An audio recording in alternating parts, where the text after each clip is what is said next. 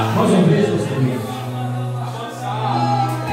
Vamos ouvir também o pastor Daniel, ele tem algo para fazer nesta noite, em nome de Jesus. Amém? Tenha só um pouquinho de paciência em nome de Jesus. Amém, queridos. Graça e paz. Boa noite. Eu aqui mais uma vez. Amém? Eu queria chamar, por favor, a minha, a minha esposa e a minha filha para cá para Aleluia. Glória a Deus. Eu escrevi aqui algumas coisas. Ele diz assim: Na minha vida, Deus, o meu Pai, me deu muitos presentes. Minha mãe, minha irmã, minha filha, minha sogra, meu sogro e a pessoa de quem eu vou falar agora. Falar a respeito dela é fácil. Boa filha, aleluia. Boa mãe, boa nora, boa esposa. Aleluia. Aleluia. Viver ao lado dela tem sido para mim um tempo de crescimento de amadurecimento, de prosperidade e de sucesso. Tem sido dias de glória. Aleluia. Eu acredito que existem casais que vivem uma vida de casado melhor do que a nossa. Mas até agora ainda não conheci ninguém. Mas acredito que vamos conhecer para avançarmos cada vez mais. Você lê muitos outros livros, mas ele é o da cabeceira. Amém? Eu tenho versículos de cabeceira. São versículos que falam forte ao meu espírito. E em Provérbio, capítulo 4, verso 18, é um dele. Diz assim: O caminho do justo é como a primeira luz do amanhecer, que brilha cada vez mais até chegar ao pleno clareamento. Eu quero que você entenda que quando a Escritura diz que vem e que ele está crescendo e que ele está relacionado com a vida do cristão, inclusive vida conjugal. Amém? E sabe, assim tem sido os meus dias, pastor, no convívio com a minha esposa tem sido brilhando, brilhando, brilhando, brilhando, brilhando, brilhando e brilhando, e vai continuar Senhor. Eu quero dizer que você pode continuar confiando no Senhor, de que as coisas dentro da sua casa vão mudar, porque eu tenho vivido dentro da minha casa com a minha esposa e com a minha filha dias de glória. E vai continuar sendo assim. Nós nos conhecemos há 21 anos. Apenas. Amizade, namoro, noivado e por fim o casamento. Hoje é um dia muito especial para mim. Nós estamos fazendo 14 anos de casado hoje. E eu sei que hoje, durante o dia, pareceu que eu não estava lembrando, ou que talvez não fosse fazer nada. E eu vi até um pouco cabisbaixo. Ela estava escrevendo alguma coisa para mim, para depois postar. E eu não sou muito de postar as coisas, mas ela me conhece. É no dia a dia que eu mostro, graças a Deus, o esposo que Deus me fez ser para ela e ela sabe disso. Mas eu entendi, porque o Espírito Santo tem que ensinar. Porque nós homens conhecemos muitos homens, pastor. Mas nós temos que aprender a conhecer as mulheres. Porque nós não somos casados com homens, nós somos casados com mulheres. Aleluia! 14 anos de casado hoje. Pastor, e se o Senhor pudesse mudar alguma coisa? Só mudaria uma coisa. E as outras eu faria toda outra vez. Porque tem sido, depois de Deus, a minha âncora, tem sido o meu lugar de segurança. Sabe que às vezes a gente está do lado de alguém tão especial, mas a gente fica tão atordoado com tantas coisas que está comprimindo a gente, que a gente não consegue reconhecer o valor daquilo tão precioso que Deus colocou ao nosso lado. Porque ao contrário do que muitos dizem, não é detrás de um homem que existe uma grande mulher, é do lado dele. Está do lado porque existe um propósito de Deus.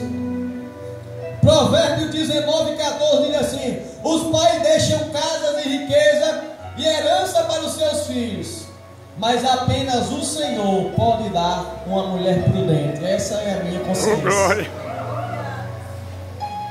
Pastor, o que é isso? Essa é a minha realidade. É o que eu tenho em casa. Sabe, querido, eu destruo ela de fato. Mas sabe que isso é uma via de mão dupla? Eu exorto ela também, a exorta a minha pessoa, e eu entendo que existe uma unção e uma habilidade específica que Deus compartilhou com ela para que eu recebesse o suporte que eu preciso para desenvolver aquilo que Deus me chamou para desenvolver. E sem ela, pastor, eu sou uma pessoa sem auxílio. Aleluia. Então essa é a minha realidade. Casado com uma mulher prudente. Muito obrigado, Pai. Provérbio 18, 22 diz assim: O homem que encontra uma esposa encontra um bem precioso e recebeu o favor do Senhor. Eu me sinto assim. Como pastor, favorecido por Deus. É assim que eu me sinto.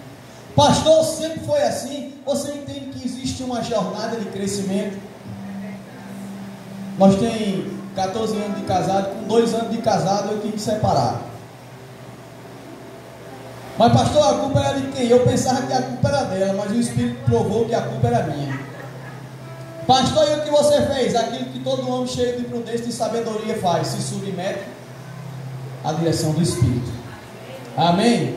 Então, é isso. E agora eu quero terminar com Gênesis 2,18 que diz assim: E disse mais o Senhor Deus: Não é bom que o homem esteja. Fale ele uma o quê? Auxiliadora, que lhe seja o quê? Sabe o que é isso que quer dizer? Auxiliadora idônea. Sabe o que, é que isso quer dizer? Você lembra quando Deus pegou Adão e ele colocou no Éden e disse assim: Adão, agora você vai lavrar e guardar o Éden. Nem assim? O que significa isso? Significa que Deus deu a Adão uma missão. Agora eu pergunto a você, raciocine junto comigo. Se Adão fosse capaz de fazer isso só, Deus tinha criado uma auxiliadora idônea? Não. Por quê? Porque quando Deus olhou e viu que Adão precisava de alguém para desenvolver o que Adão recebeu como missão para desenvolver, Deus fez o que? Deu Eva todo o suporte que Adão precisava para ter o sucesso que Deus criou ele para ter. Então assim é sua esposa do seu lado. Sabe, às vezes na agonia, pastor Jess, eu dizia, Deus, a igreja nova, eu dizia, Deus, eu quero que o Senhor dê a mim um arão. Porque Moisés tinha um arão. E tinha também Josué. E eu queria um arão. E eu orava e pedia isso a Deus. E um dia eu estava no culto, André. E Deus disse assim a mim: Ei,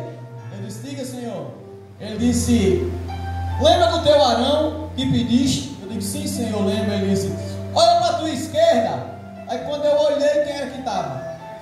A minha esposa. O Senhor disse: Eis aí o teu arão. E sabe que ele desde então eu estou debaixo dessa poderosa consciência. Amém? Então, minha filha, eu te amo e eu sei que você me ama. Amém? Aleluia!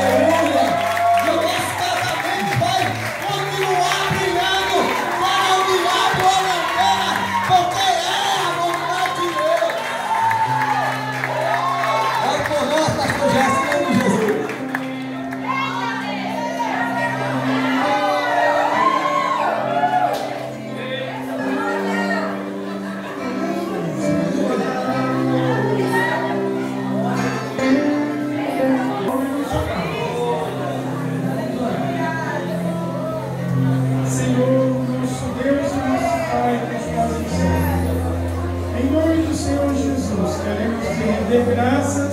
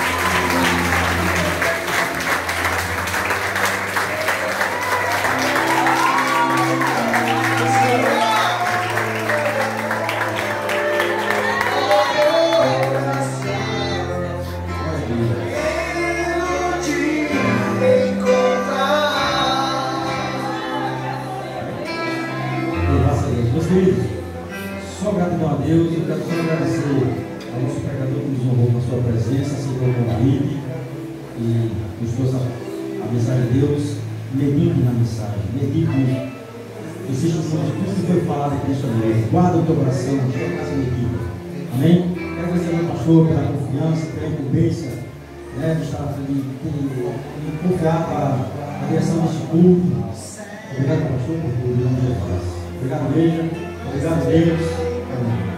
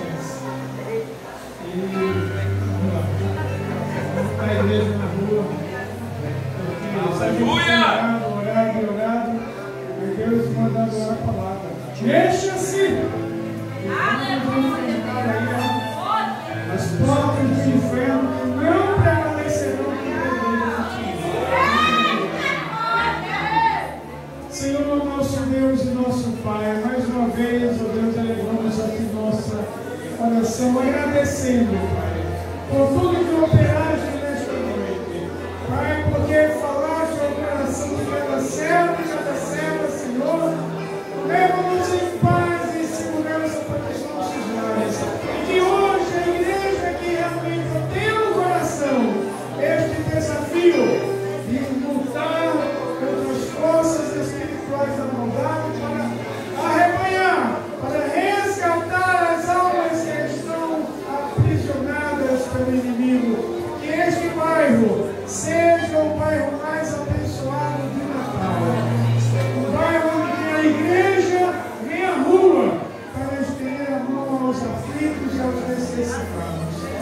Precisamos do Senhor para isso.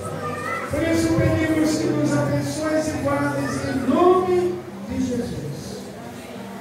Receba a bênção.